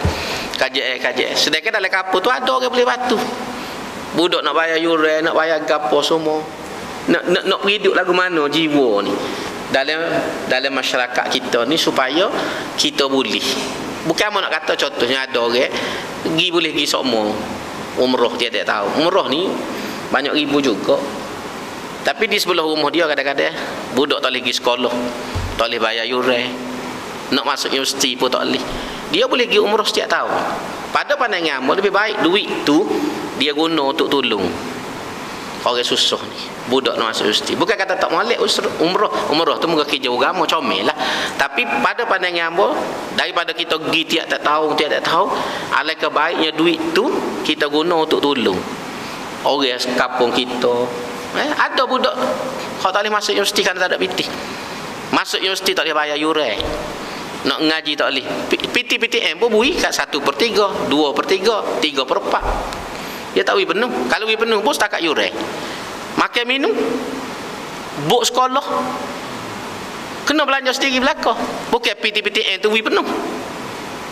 Dia beri ni ribu. Ni ribu setahun kata sepuluh ribu. Ataupun lapan ribu. Itu hanya untuk yuran yuran pun bukan satu batu yuran bukan satu batu jadi budak ni nak makan lagi. Nak bayar gimari gimari. Nak beli buk nak photostat ha. Jadi kadang-kadang jadi masalah. Jadi masalah. Tapi tahulah saya sendiri pun tak tahu nak fikir nak buat guana nak su. Kalau kita pakak buat kita orang orang ramai ni kalau ada kesedaran kepada benda macam ni banyak benda boleh selesai dalam masyarakat kita. Tapi kesedaran tu tidak tidak wujud. Sebab tu anak yatim kata benda ni dia kau kapi. Oh kapi orang bukan Islam. Kalau kita pergi di Kuala Lumpur tu dia, dia ceras di di Ampere mana tu kalau kita pergi kita terasa malu. Malu. Kita hak ada ni biasa hak majlis agama. Agak ke majlis? Hak prosedur ya, Kelantan ni mujur ada hak abim buat tu di Tanjung Mah. Bagi contohnya ada dua Darul Aitam tu. Alhamdulillah lah. Hak hak majlis. Tapi tu ya tak pada lagi dengan keperluan sebenar dalam dalam masyarakat. Jadi kalau kita boleh pakak fikir, pakak fikir dalam lagu mana lepas ni, eh, lagu mana supaya kita boleh selesai. Baik, balik pada ni, eh, antaranya benda ni sebab itulah. Kalau boleh belanja harta kita dengan dengan comel dengan comel kita boleh dapat ganjaran yang besar. Kita sudah dengan ayat akhir sebab tidak tergantung. Ayat 180 ni Tuhan kata la tu belawunna fi amwalikum wa anfusikum wal tasma'unna minal ladzina utul kitaba min qablikum wa minal ladzina asyraku adzan katsira. Wa in tasbiru wa tattaqu fa inna dzalika min azmil umur. Demi sesungguhnya kamu akan diuji pada harta benda kamu dan diri kamu. Dan demi sesungguhnya kamu akan mendengar dari orang-orang yang telah diberikan kitab dahulu daripada kamu dan orang-orang musyrik. Banyak tuduhan-tuduhan dan cacian yang menyakitkan hati. Dan dalam pada itu jika kamu sabar dan bertakwa maka sesungguhnya yang demikian itu adalah dari perkara yang dikenaki diambil berat melakukannya. Jadi tu royak kita ni dalam hidup ni kalau dulu kita baca dah walana beluanakum ni tu kata kamu akan diuji ujinya dengan apa? Di segi harta benda. Antaranya ujiannya kedekut tadilah. Kalau orang ada harta kedekut orang tak ada harta pula tertekan hidup dia. Jadi Tuhan uji di segi itu tak cukup keperluan. Wa anfusikum diri kamu jiwa kamu. Tuhan uji dengan nyakit. Tuhan uji dengan letih. Eh, Tuhan uji dengan perasaan kecewa. Ha, Tuhan uji. Lepas tu mari pula daripada orang-orang ahlul kitab yang mana mereka ini sentiasa cari jalan untuk mengkhianati orang-orang yang beriman. Kunci untuk menghadapi benda ni dia kata wa in tasbiru wa tattaqu. Itulah dua an kunci. Ataupun kalau kita kata gapo eh? Uh, perisai yang kita boleh guna berhadapan dengan ujian-ujian ni nombor satu kena sabar Nah, sabar ni sebab tu orang kata as-sabru miftahul farji. Sabar itu menjadi anak kunci kepada penyelesaian Sabar berdepan dengan penyakit, berdepan dengan cabaran hidup, dengan kegagalan, kekecewaan, yang pentingnya kena sabar. Sabar dan lepas tu bertakwa kepada Allah Subhanahu wa taala. Menghadapinya dengan cara-cara yang betul. Bila kita contohnya ada penyakit, kita sabar, lepas tu kita cari ikhtiar dengan cara yang betul. Eh, cari ikhtiar dengan cara betul. Kita berhadapan dengan kekecewaan, kita sabar, kita cari cara betul. Cara betul kan dia antaranya semaya. Jarang kita ni kalau susah cari semaya. Eh, jarang kita. Kita hak semaya ni maya ajak semaya ajak eh semaya semaya ajak lah golik kita lain tak ada dah semaya ajak eh tapi nabi sendiri nabi kata bila ada masalah saja nabi ni idza hammahu amrun. Atau dalam satu hadis idza hazabahu amrun. Apabila ada masalah dalam hidup ni nabi terus pergi semaya. Itulah amalan nabi. Ada apa masalah? Serabut ke apa tekene ke cabaran dalam masyarakat nabi akan pergi semaya Ha, pergi semaya. Semaya itu cara dia men mencari jalan penyelesaian. Tapi kita sendiri tidak buat benda lagu itu. Jarang di kalangan kita orang Islam hari ini terutama bahasa Melayu semaya. Dia tahu semaya maya maya ajak. Maya ajak pun orang dia dak cokor duk bulu rokok daun. Belakang pagi sungai ajak-ajak dia. Nak disungguh orang je mitok. Kalau orang mitok muka lain kan nyanyi ke dia. Kena orang jahat kan mampu cepatlah kau ni. um, masjid betul aja mari ni tang susah suruh orang mai ajak biarnya mati cepat tak kena nyanyi kita ha sebab itulah sebab tu hamba kalau orang panggil mai ajak hamba akan pastikan tuan rumah kena mai ajak sekali tidak hamba tak mai Nah, ha, dah mau agak siapa-siapa dia jadi tu email mai ajak pun pastikan ajak tuan rumah mai mai sekali. Ha, mari semaya sekali. Jangan kita yang sungguh mai ajak dia duk gulung rokok daun. Dia tengok TV kadang-kadang. Eh, tengok TV musim-musim MH370 kan. Dia kata tu email lagi mai ajak amun nak tengok TV. Bunyi kata nak jumpa dah kata kebe. Kata tidak selok ke kita nak jawab kerja lah gitu. Jadi ajak-ajak dia masalah-masalah dia dia suruh kita selesai. Jadi tak kena lah gitu, tak kena. Jadi sebab tu siapa-siapa orang panggil mai ajak, itu email ambo cadel lah supaya erik tu rumah tu sekali. Kaya tak reti ambil es mayat, tolong bawa dia ke ambil es mayat. Baik. ha, kali kata dia tak reti mayat ajak, suruh dia mayat saja. Tak kebir, dia dia tak kata gap. Lama dia derah pada tu email pula baca, tak leluh. ha, jadi hak tu hak penting tu. Jadi sebab dalam hadis Nabi kata Rasulullah SAW Iza hazabahu amrul Atau Iza hammahu amrul Bila mari tekene masalah Gapa Fazi'a ila salah Nabi akan cepat-cepat. Pergi semaya Semaya sunnah Tu cara jalan. Jalan yang Nabi ajar kepada kita kaedah bila kita berhadapan dengan masalah. Jadi insya-Allah tu hawi sini dia kata in tasbiru wa tattaqu sekiranya kamu sabar dan kamu bertakwa itu adalah perkara yang sepatutnya kamu kena kena buat. Ha, jadi kita berhenti dulu sebab kalau kita sambung dia jadi tergantung pula. Insya-Allah mudah-mudahan apa yang kita bicarakan boleh memberi manfaat dan kita sambung semula dalam kuliah akan datang. Aku lu qauli hadza wa astaghfirullahalazim li wa lakum. Assalamualaikum warahmatullahi wabarakatuh tu ni ada soal banyak soal dia. um, nombor satu sekali soal yang pertama ni dia kata orang seorang yang telah menyesal dan bertaubat atas perbuatan fitnah ataupun tuduhan pada masa lalu. Apakah perlu untuknya meminta ampun dan maaf kepada orang yang berkenaan dia antara syarat taubat ni dia ada tiga perkara. Yang kalau kita baca dalam hadis. Pertama ialah uh, menyesal menyesal dengan sesungguhnya atas kesilapan kita. Yang kedua minta ampun kepada Tuhan dan yang ketiga tidak mengulangi. Berazam untuk tidak mengulangi. Itu tiga syarat taubat ni untuk diterima. Itu dalam benda yang berkait dengan hak Tuhan. Hak Tuhan kita tak semaya contohnya kita buat benda hak-hak haram. Maka cara taubatnya tiga. Kalau syarat dia kata ulama nombor satu kena nyesal. Menyesal dengan perbuatan kita minta ampun dengan Tuhan dan berazam untuk tidak mengulangi. Adapun dalam masalah yang berkait dengan orang contohnya kita ambil barang dia. Dia tak tahu kita curi barang dia. Eh kita buat fitnah pada dia. Utama ulama kata kena tambah soal lagi kena minta maaf daripada tuan hak tuan hak ah tu baru cukup pak. Baru cukup pak ni barulah taubat kita tu diterima.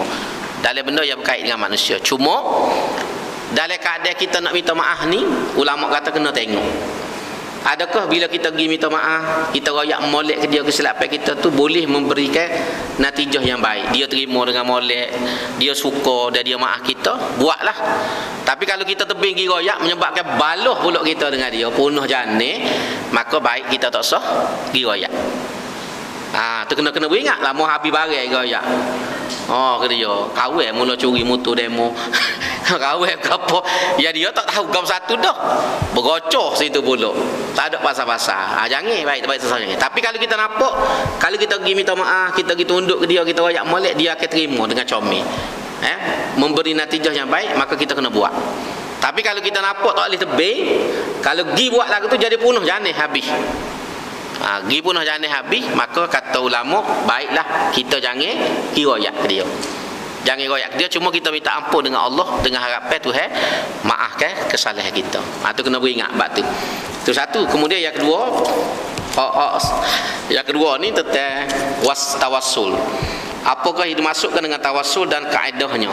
Tawassul ni ialah kita uh, perantaraan. Kita menggunakan perantaraan untuk mencapai hajat kita. Itu dikatakan tawassul. Uh, tawassul ni dalam Islam ni ada tawassul yang dibolehkan, ada tawassul yang tidak boleh. Tawassul yang boleh ni ialah kita minta doa, kita minta dengan orang hidup. Contohnya kalau zaman Nabi. Kalau zaman Nabi orang ni ada masalah, keperluan dia pergi jumpa Rasulullah. Ya Rasulullah, amo ni gini gini gini, minta tolonglah tuai doa. Eh? Tuai doa. Nabi doa. Pas dia pun turut lek belakang. Maka itu dibolehkan dalam Islam. Kita hari ni pun boleh. Kita cari orang alim, orang yang kita kata alim, orang yang juru. Kita mai ajak banyak dah. Eh, kita tak sesal juga masalah kita. Kita pergi jumpa orang alim, orang baik, minta lah ustaz, apa tutup guru, tolong hamba ni, gini-gini. Maka boleh dengan syarat dia dia semaya ataupun dia doa kita doa retek sekali dengan dia kata ulama dia doa kita doa amin sekali. Itu boleh. Tapi kalau orang hak tolehnya orang mati. Kawan mati dah dalam kubur. Kita gigi gigi cokoh depan kubur dia ya Allah ya aku selesailah masalah aku dengan berkat. Dengan berkat orang ni. Ha, itu tak boleh. Orang mati. Supaya setengah orang Melayu lah ni kan? Dengan berkat Syekh Qadir Jailani berkat. Waktu tak betul. Dalam Islam itu tak betul. Orang mati dia tak boleh tu. Kita tak tak, tak boleh nak minta dah dengan dia Hak jadi tu cerita lain. Jadi tu boleh jadi berlaku. Ha, tu boleh tolong kita. Tak, iblis boleh mai tolong kita jangan buat kira jadi. Ha, soalnya di segi kaedah. Tawassul ni boleh dengan orang yang hidup tapi tidak boleh bertawassul dengan orang yang mati. Satu lagi kita boleh bertawassul dengan amal soleh. Seperti mana dalam hadis Bukhari. Eh, cerita cerita orang yang tertutup dalam gua tiga orang pemuda pergi jalan masuk dalam gua tiba-tiba rutuh tutup pintu gua nak tubik tak boleh tak cakap buat dah nak tolak batu tu tak boleh. Jadi masing-masing pakat berdoa dengan Tuhan. Ya Allah, asal kata ya amba ni mula ni eh tak berapa cara kau mak ayah. Eh mak ayah hamba ni mak nak minum susu, hamba tertidur lambat pergi beli susu. Eh gini kau cerita kata lu. Lepas tu akhirnya minta lah hampung dengan Tuhan. Lepas tu minta lah Tuhan apa ni? Selamatkan dia. Pecah batu sebutih. Terbuka sikit lebih gua. Tapi nak tubik tak lagi. Mari hak ni pula royak cerita dia. Hak ni royak cerita dia. Secara detail kita baca dalam Bukhari. Jadi masing-masing doa akhir terbuka pintu gua. Pecah sendiri batu tu tu pecah sendiri boleh tubik tiga-tiga orang. Itu ha, bertawasul dengan amal soleh atau begitu hari ni contohnya kita ni ada masalah. Kita maya ajak wah tu eh amo ni ada masalah besar. Eh, nak ikhtiar tak boleh habis ikhtiar dah tak boleh. Jadi lah dengan Tuhan. Amo ni tak ada gapo nak nak cagar ke Tuhan. Melainkan kita sebutlah contohnya. Amo ni tak ada piti satu hari mari orang susah. Piti ada lima riyal tak lolo tapi mari orang lebih susah pada amo lagi. Amo nak makan dengan piti ni. Tapi tengok dia susah pada amo lagi amo wi piti hamba lima riyal amo tak makan hari tu kerana tolong orang susah. Jadi kalau boleh hak ni ni ha, jadi cagare itu ha, dikatakan tawassul. Kita bertawassul dengan amal soleh kita. Ngarap peh Tuhan terima. Hak tu boleh. Tapi dengan orang mati tak boleh. Ha, dengan kubur dengan kamak ni hak tu tak boleh. Tu lebih kurang lah. Ada detail lagi tapi amal sebut ni lebih kurang. Nak suruh kita pahal eh, nak suruh kita pahal kalau nak ayat detail panjang. Setengah jam pula cerita dia kalau bak tawassul ni. Ha, tu. Hak tu betul. Kemudian yang ketiga ha, ni sedap sekali ni ada pernah kau ustaz nampak hantu? ah, sekiranya pernah bagaimana kau rupa bentuk dan sifat hatu tersebut? Benar kau seperti digambarkan dalam filem. Bolehkah hatu mencederakan manusia? Ha, ni kena tanya bomo satu Malaysia ni ha, gini lah hamba royak eh. hatu-hatu ni ialah istilah yang digunakan oleh orang Melayu kita eh? orang putih guna ghost apa semua dia. Sebenarnya merujuk kepada satu makhluk yang Tuhan cipta iaitu jin. Makhluk yang Tuhan cipta ni antara dua gelewak sama dengan kita ni dia ada dua. Waktu Tuhan buat ni kita tak nampak. Iaitu jin batu melekat melekat diciptakan daripada cahaya dia ni dicipta daripada cahaya sebab tu pergerakan dia laju melekat ni Eh, sebab pergerakan yang paling pantas dalam dunia ialah pergerakan cahaya. Sebab tu orang kira berapa? Berapa tahun cahaya? Perjalanan daripada bumi ke bulan. Berapa ribu tahun cahaya? Ha, dan malaikat ni kerana dia diciptakan daripada cahaya sebab tu pergerakan dia laju. Turun naik ni kalau gino kita kita guru kita guna tempoh kita 24 jam ni alfa sanatin 1000 tahun. Kata ayat atau email dia baca pagi-pagi jemaah tu. Summa ya'ruju ilaihi fi yaumin kana miqdaruhu alfa sanatin mimma ta'udun dalam ayat lain surah lain khamsina alfa sanah 50000 tahun. Tapi malaikat boleh suruh, suruh turun naik pasal dia dicipta daripada cahaya. Kelajuannya, kelajuan cahaya. Ha, tu di segi sains sebab tu sains guna istilah kelajuan cahaya. Satu lagi makhluk yang haluh yang kita tak boleh nampak, yang Tuhan kata yaraunaka min haitsu la tarawnahum. Demo tu boleh tengok kita kita tak nampak dia, iaitu makhluk jin. Jin ni cipta daripada api. Pucuk api pucuk api itulah Tuhan buat jin dan jin ni dia duduk dalam alam dia sendiri sekali dengan kita tapi dilindungi oleh tabir supaya kita ni atas masjid tak nampak orang puan tu pasal ada ada tabir bukan dia tak ada dia ada. Tak nampak pasal kita tabir tu ada. Kalau kita buat tabir tu nampak lah cokoh hara tu. Orang puan tu. Ha hak jenera pun ada berkali kat dalam ramai-ramai. Kita tak tahu muka tabir ada. Jadi jin ni di, di, dilitupi oleh tabir tabir ni Tuhan boleh buka bila-bila masa. Dan dia boleh tubik masuk. Sebab tu kapur zaman dulu cerita susuk katu tu tidak tidak bukan bukan, bukan salah. Benda tu boleh berlaku. Dia ambil bagi dalam alam dia. Supaya kak kita ambil lagi boleh sana cari tak jumpa. Duk dia dia kecek dok bunyi dok nak cari mana? Tak ada. Ha, sebab tu orang dulu kata susuk katu satu benda tu betul. Di segi agama tidak salah. Dia boleh boleh susu berdasarkan pengalaman pengalaman pengalaman manusia. Ha, ada pun rupa rupa jin inilah yang menjelma orang Melayu panggil atu. Atu mok kope atu putih nako atu gayo oh macam-macam nama bui. Orang Melayu bui tu awal bocih. Nama zaman dulu. Semua ni patut setengah pula panggil dewa. Dewa-dewa ni jin inilah Orang kata zaman dulu dewa-dewa ni tubuh besar memang jin. Dia boleh terbang. Jin boleh terbang. Gi mari timur selatan ni dalam masa cepat. Saya ambo seorang ni pernah naik atas terbang atas jin. Saya ambo ada lagi hidup, hidup di kota baru ni. Masa dia ngaji di Indonesia dia belajar ilmu, dia pernah naik atas jin atas saya boleh terbang mana-mana ustaz. Naik atas belakang jin gi nak gi mana pun. Ha, tapi ilmu tu ilmu tak betul lah. Lepas dia balik Malaysia ni dia tahu benda tu salah dia buat habis. Orang tu ada hidup lagi. Di Kota Baru tu. Dia ada cerita. Masa ngaji Indonesia. Dan guru Ambo sendiri pernah cerita. Pernah cerita orang naik jing ni di Indonesia daripada Pulau Bali balik ke Wah tanah besar ni. Tanah besar naik terbang atas jing dia pergi kerja di Pulau Bali petai balik. Naik buk jadi lewat. Hari tu lewat kap kapal tu tinggal ada dia. Dia tinggal dua orang. Saya dia kata mu nak balik kalau sih? Dia kata nak balik. Saya dia ni bukan Islam. Dia Islam. Saya dia kata mu boleh supaya aku. Dia panggil jin dia mari. Tapi dengan syarat mu jangan sebut nama Tuhan. Kalau itu pesan mu jangan sebut nama Tuhan. Ha, sebab mu dia kapir kan dia naik dia duduk, duduk kejam mata benda mari. Naik cokoh di atas terbang terbang mulai tutup mata. Suruh gayak gayak beras berangi ni kan? Dia celek celek celek duduk atas belakang tu. Bolu penuh. Besar. Tu tengok tengok laut duduk bawah.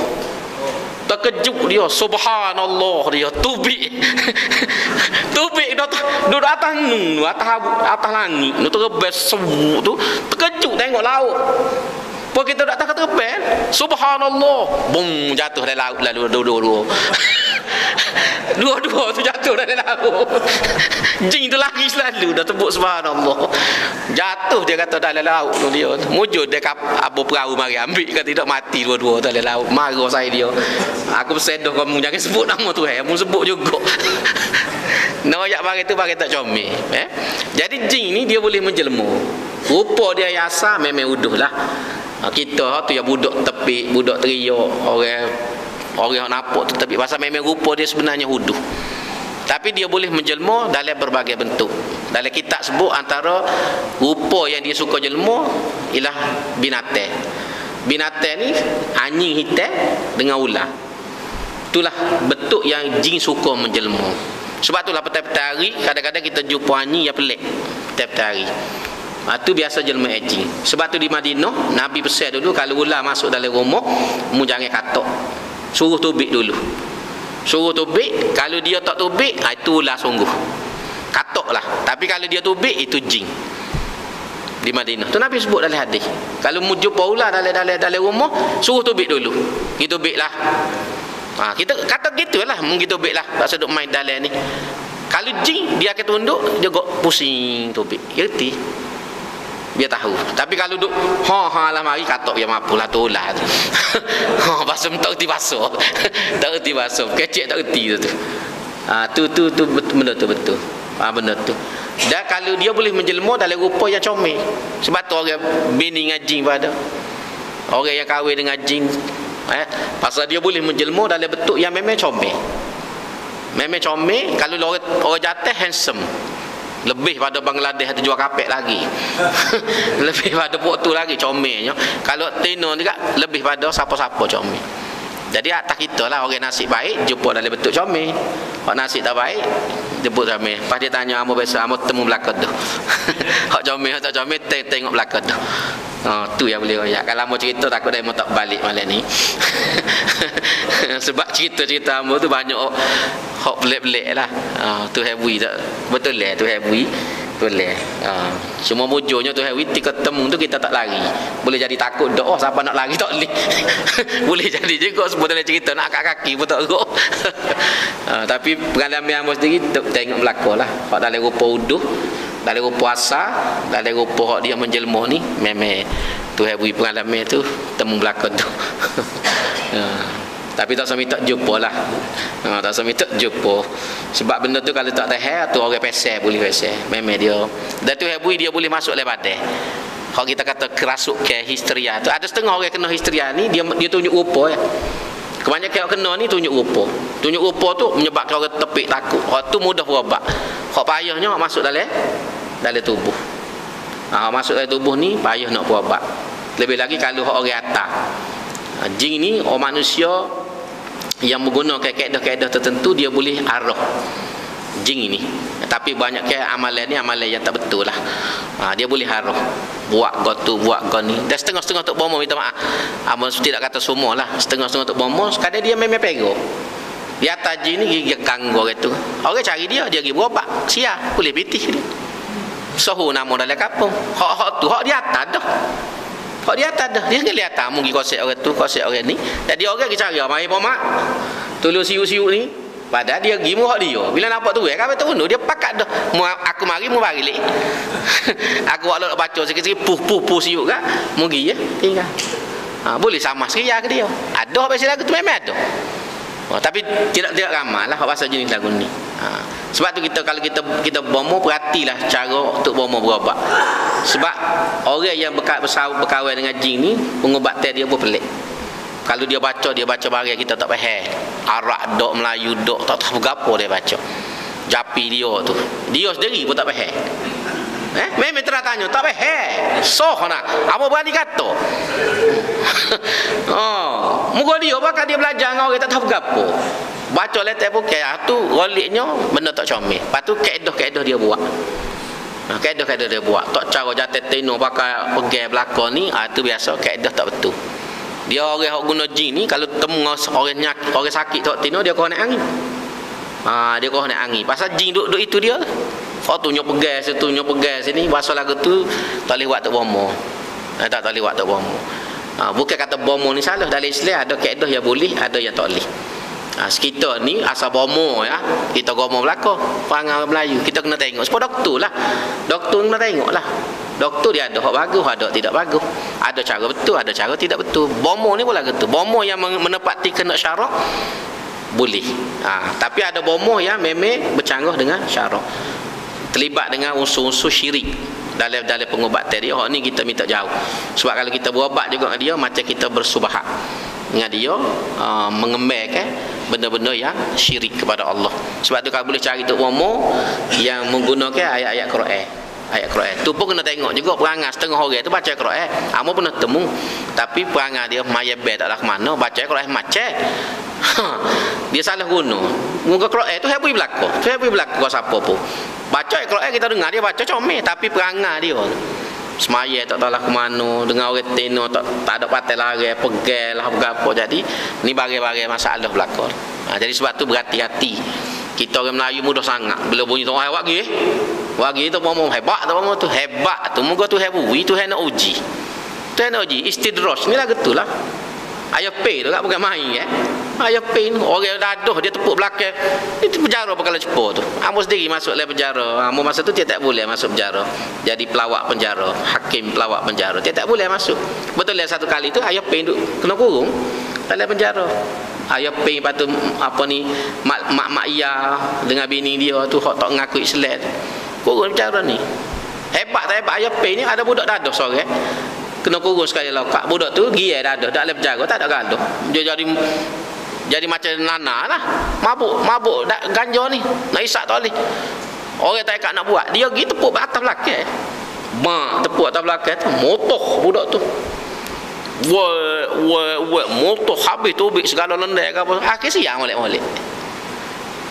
Siang molek-molek. Oh, lepas tu pakat gerung belakang dia dalam, dalam penjara tu. Budak tu ngoni, tunggu dia dalam penjara tu. Dalam lokak budak tu. Tunggu dia. Pakat tepuk belakang gitu. Kita tak boleh buat lah gitu. Tak, kita setakat tepuk belakang tu blokok. Okey. Ni dia dia boleh bang tepuk sekali tu. Motor habis budak tu tubik habis.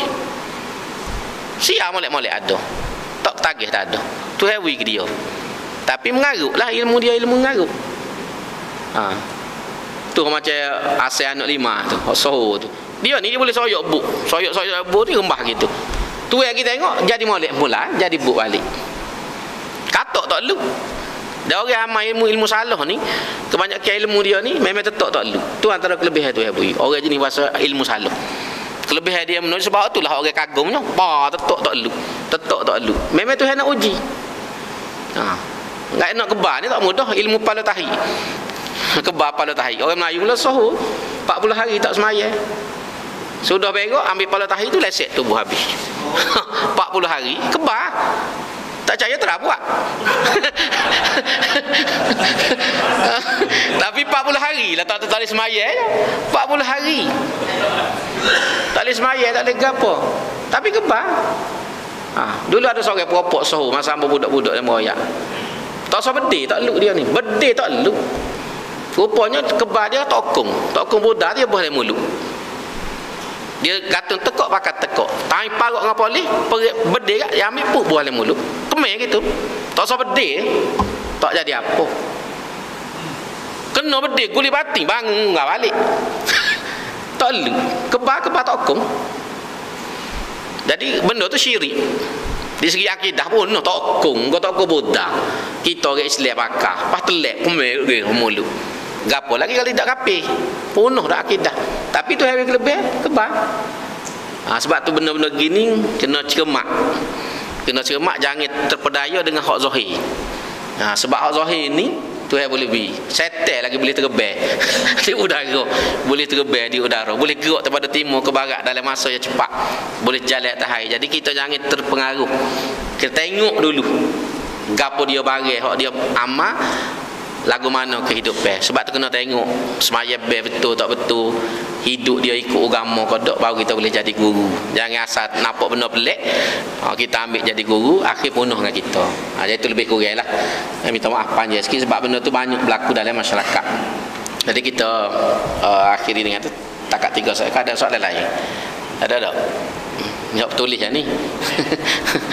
Mulut rasa pada dah setakat tu.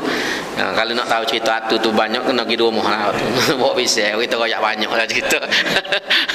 Uh, tapi tu bukan sini lah tempat dia. Sebab maaf panjang kalau nak royak sesuatu terlalu banyak. Nak orang ambil orang umum ya. Jawab soalan saya kasar saja. Tuan-tuan ada apa-apa boleh mendalami. Sama ada cari ustaz-ustaz lain duk cokoh molek ataupun baca dalam buku-buku lah. Cuma mau uh, maklumat umum saja. Kita berhenti setakat itu dulu. Aku lu qali hadza wa astaghfirullahalazim li wa lakum assalamualaikum warahmatullahi wabarakatuh bismillahirrahmanirrahim alhamdulillah rabbil alamin wassalatu wassalamu ala asyrafil mursalin wa ala alihi wa sahbihi ajma'in ربنا اغفر لنا ذنوبنا وإسرافنا في أمرنا وثبت أقدامنا وانصرنا على القوم الكافرين. ربنا زدنا علما ربنا هب لنا حكما وألحقنا بالصالحين. ربنا آتنا من لدنك رحمة وهيئ لنا من أمرنا رشدا. ربنا آتنا في الدنيا حسنة وفي الآخرة حسنة وقنا عذاب النار. سبحان ربك رب العزة عما يصفون وسلام على المرسلين والحمد لله رب العالمين. تقبل الله منكم.